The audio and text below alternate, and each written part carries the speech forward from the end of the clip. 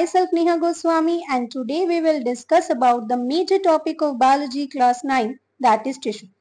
In this video, I will not only explain about the types of tissue present in plants but we also discuss about their functions and how they work. Moreover, in the end of this video, I will also add on some quick easy notes for better understanding. You can also take screenshot of that for the future use. And one more thing, if you like this video, then don't forget to like it and subscribe my channel for stay updated about my future videos. So without wasting a minute, let's get started. Okay, the very first thing that we have to understand is what the tissue is, how it is formed and where it is present. Let's understand it with an example. As we all living things are formed of cells. Here I'm not talking about the cells that we use in remote controls or any other appliances. Here I mean is a living cell which is a basic fundamental and structure unit of all living organisms. So let's take one cell from any particular part of our body. Here I am taking a cardiac cell जिससे heart की formation होती है. As all cells divide and multiplies, so ये single cell भी divide होगा and it will form multiple cells of the same kind. And this is how एक single cell जो है वो group of cells बनाएगा that will be called as a tissue and all the cells of particular tissue will have the similar structure and they will perform the same function. As tissue is formed, it forms like layer that will take a shape of any particular organ of our body. तो group of tissues जो हैं वो combine होके क्या बनाएंगे? They will form the organs. Here we have taken the cardiac cells. So the very first organ that will be formed is the heart. And after the formation of an organ, an entire organ system will be formed. including veins, arteries and capillaries.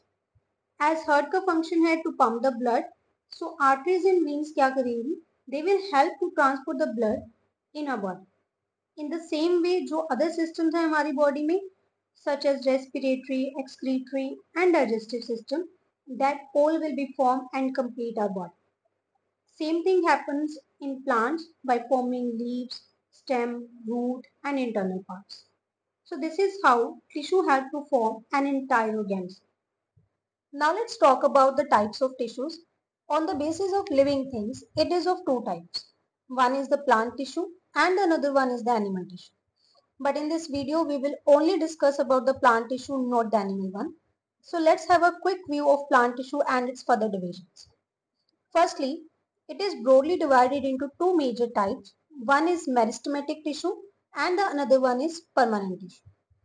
Meristematic tissues are then on the basis of their growth divided in three categories that is apical meristematic tissue, lateral meristematic tissue and intercalary meristematic tissue. On the other hand, the permanent tissue is divided into simple permanent tissues and complex permanent tissues, where simple permanent tissue is of three types, parenchyma, collenchyma and sclerenchyma. On the other hand, complex tissue is of two types.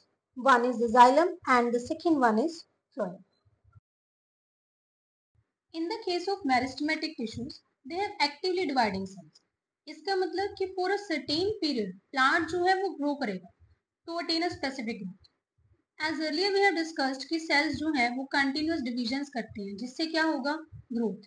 So that's why meristematic tissue जिस भी part of plant में present होंगी, वो part ना continuous grow करता रहेगा जब तक एक डिज़ायर ग्रोथ कंप्लीट ना हो जाए। On the opposite side in case of permanent tissues when cells from meristematic tissues differentiate और the divide then at after certain period they will stop division and converted in permanent tissues as simple is that जो meristematic tissues हैं, वही किसमें convert हो रहे हैं? Permanent tissues में। After acquire a setting. Let's discuss the types of meristematic tissues. It is of three types based on their position in plants. Apical meristematic tissue, lateral meristematic tissue and intercalary meristematic tissue. If we talk about the apical meristematic tissue, as its name denotes, apical, it means apex, matlab tip of any object. So it is present at the tip of stem and root. As it's a type of meristematic tissue so इसका major function ही क्या होगा? Plant के stem and root को grow कर on the other side Lateral tissue will help to increase the thickness of stem and root of plant. Basically ये width increase करेगा shoot और रूट की, जिससे प्लांट को स्ट्रेंथ मिलेगी। एज ए प्लांट सिर्फ़ अपवर्ड ग्रो करेगा बट थिकनेस इंक्रीज नहीं होगी। तो इन स्वे कंडीशंस वो विथस्टैंड ही नहीं कर पाएगा। वो टूट जाएगा ब्रेक हो जाएगा। सो दैट्स वाई ये प्लांट को थिकनिंग प्रोवाइड करेगा जिससे प्लांट जो है वो स्टिर रहे। Now the third type of tissue is the intercalary tissue it is present at the base of the leaves और इंटरनोड्स और twigs twig is a kind of small branch that grows out from main branch for example as this is a twig in which some of the nodes present from where new branch और leave will be arised अब इन दोनों nodes के in between जो part है, that is internode where the tissue is present, इसी part को grow करने एंड इंटरनोड का डिस्टेंस इंक्रीज करने का काम जो है वो इंटरकैलरी टिश्यू करेगा। Now let's discuss about another kind of tissue that is simple permanent tissue now why we called it as simple it's just because they are form from only one kind of cells and इस tissue के जितने भी cells होंगे they will perform the same function as they all were having the same structure while in the case of complex permanent tissues they are form from the combination of different cells which have different structure and also perform different function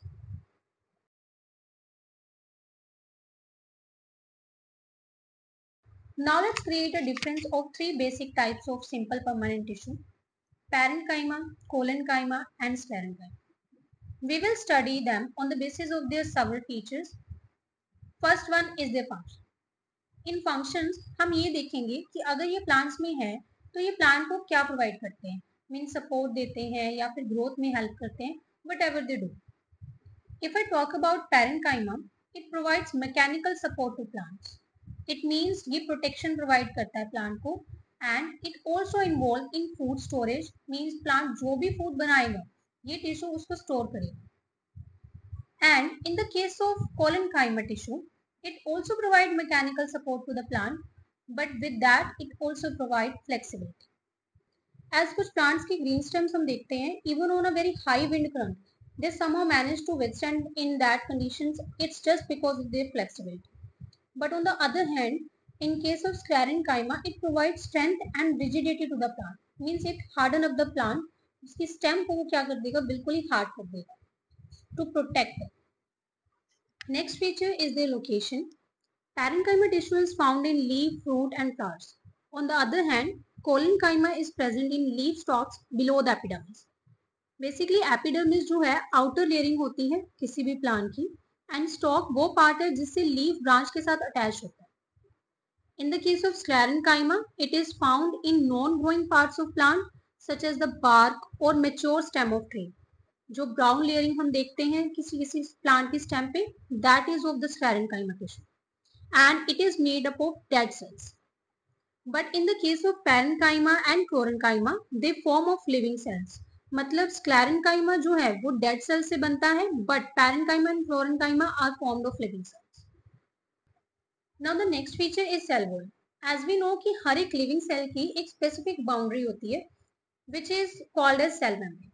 But only in the case of plant cell एक specific additional membrane भी होती है and that is known as a cell अब ये ऐसा क्यों है कि ये सिर्फ़ और सिर्फ़ प्लांट सेल में प्रेजेंट है एनिमल सेल में नहीं होती है? इसका आंसर आप मुझे दोगे so answer this in the comment section please so if I talk about the parenchyma their cell wall is very thin. But in collenchyma tissue they have thickened cell wall at the corners means it will be thin from the inner side but their corners are very thin And in the case of sclerenchyma, cells will, cell wall is very thick due to lignin. Lignin is basically a carbohydrate and an irregular phenolic compound that provides structure and support. It's just like कि वो bind करेगा cells को बहुत closely, tightly pack करेगा. Next feature is intercellular spaces. Let's first understand what it means. Basically, these are the spaces that present in between two cells. So so, अगर simply मान लो हमारे पास कोई दो सेल्स हैं और उनके इन बिटवीन बहुत ज़्यादा स्पेसेस है तो उस केस में क्या होगा? वो इजिली मूव करेंगे देर वो जो टिश्यू होगा that will be more flexible but on the other side अगर हमारे पास सेल्स के इन बिटवीन स्पेसिस ही नहीं है वो बहुत ज़्यादा क्लोजली पैक्ड है तो इस केस में क्या होगा? जो सेल्स है वो मूव नहीं कर पाएँगे and that tissue will be more hard and rich so if I talk about the parenchyma then they have a very large intercellular spaces and therefore जो उनके सेल्स हैं वो बहुत ज़्यादा लूजली पैक्ड है but in case of collenchyma they have a very little intercellular spaces but in sclerenchyma it is completely opposite from both of these they have no spaces at all so that's why ये सबसे ज़्यादा hardest tissue tissue होता है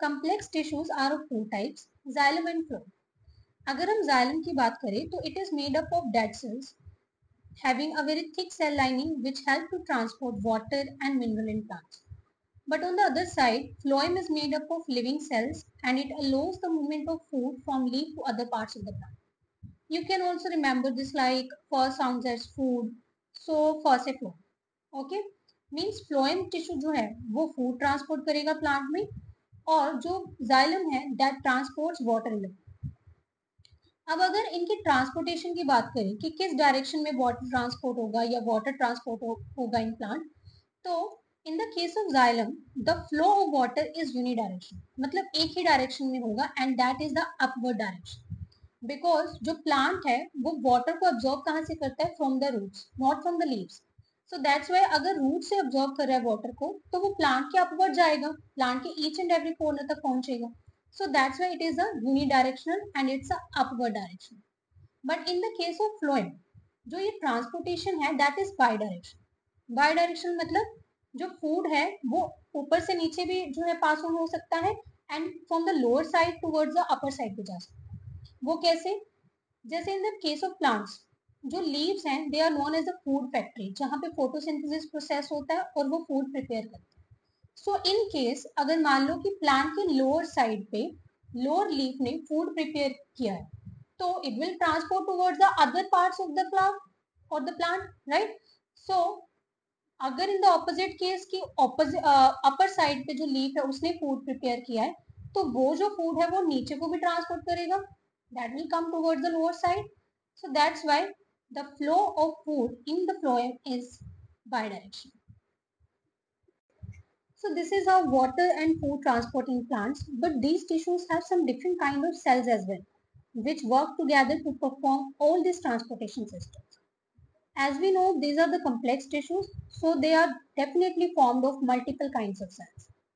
Xylem is consist of four types of cells, xylem parenchyma, xylem fibers, tracheids and vessels.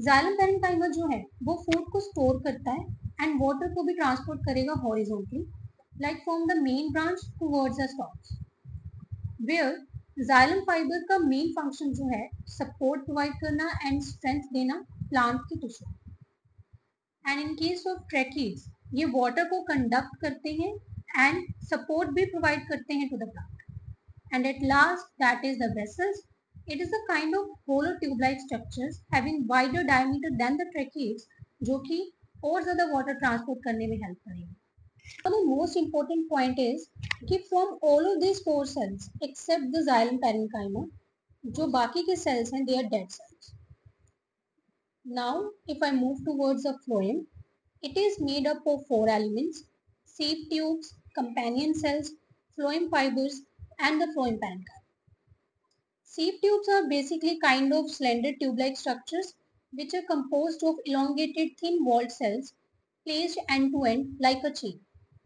Their main function is to transport sugars and nutrients up and down towards a plant. It's kind of a bidirectional flow. And in case of companion cells, they facilitate the functions of sieve tubes as their name suggests. Companion means company. So ये company देंगे towards the sieve tubes उनके साथ मिलके ये क्या करेंगे? Transportation में help करेंगे। Then is the phloem fibre ये फ्लोइम टिश्यू को फ्लेक्सिबिलिटी प्रोवाइड करते हैं। Last type of cells are phloem parenchyma as parenchyma tissue का काम ही क्या है? स्टोरेज करना। तो ये भी क्या है? स्टोर करते हैं। Starch and proteins and the important point of this topic is कि फ्लोइम फाइबर के अलावा जितने भी सेल्स हैं they are living only the phloem fibre is the dead cell So this is all about the plant tissue. I hope you all understand it very well. The other part of this chapter will be discussed in the next video. Thank you for watching and if you like this video then don't forget to like, share and comment on this video and please subscribe my channel for stay updated regarding the next videos.